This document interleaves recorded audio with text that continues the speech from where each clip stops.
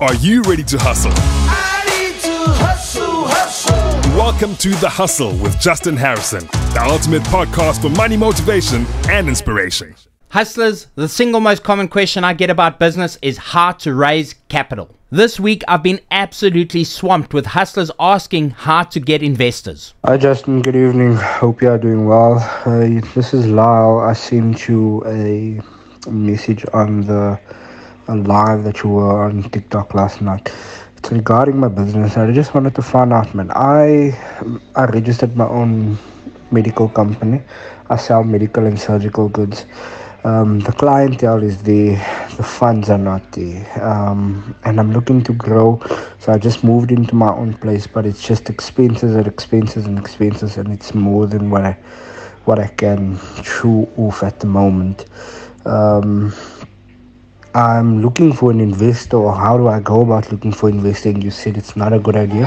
I should reach out on WhatsApp. So um, let me know what I can do in order to get some capital somewhere just to get into the business or get um, because uh, there's a lot of potential and it's it's it's huge for growth so and i'm looking to grow i'm looking into turning it into a big play in the market so um, looking forward to your response thanks so much Hustlers, if you have a burning question that you'd like featured on the podcast, send me a WhatsApp on 081 750 2349. That's 081 750 2349. Or you can send me an email at moneytribe21 at gmail.com. So let's address the elephant in the room.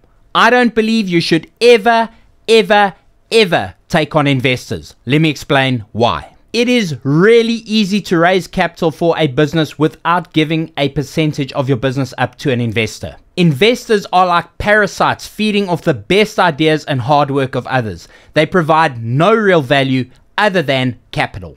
Investors will literally make you an employee in your own business. And you should never ever confuse an investor with a partner. An investor purely provides capital, whereas a partner provides capital as well as other things that they contribute to the business and are actively involved. So if you're going to take on capital and give up a percentage of your business, you're not looking for an investor, you're looking for a partner, somebody who is fully committed and fully invested into the process as much as you. I have personally bootstrapped 109 businesses and I've never taken on a single rand or dollar in investors' money.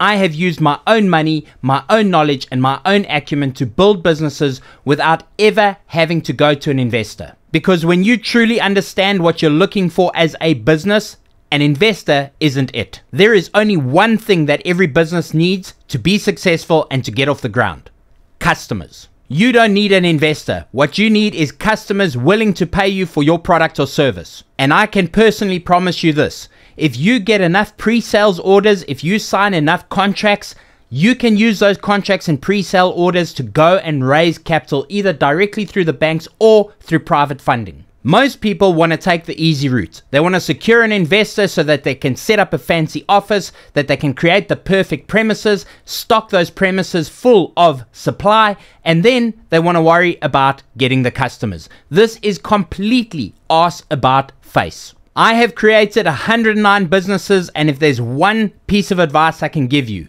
figure out how to get the business first, and then worry about how to supply. And because I've heard this objection a million times before, and no, I'm not reading your mind, the question is how do you go out and sell something that you don't currently have? How do you present something to the customer that you don't currently have? And this is where you're about to learn that traditional thinking has got you absolutely snookered. If it's a concept, you create a prototype with your own money.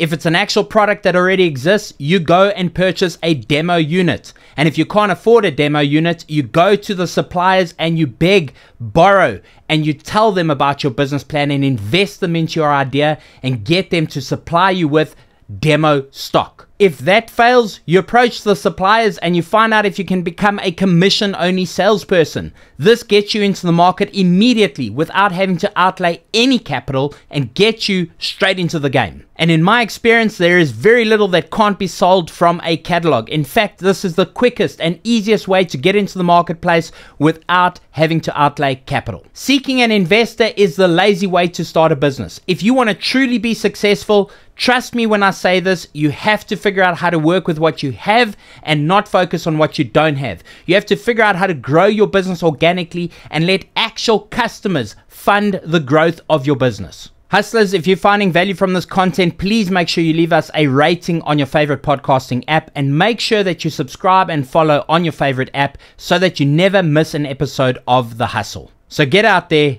do the time, do the work, and remember to operate as lean as possible. Keep those expenses to an absolute bare minimum. And the golden rule is hustle makes muscle.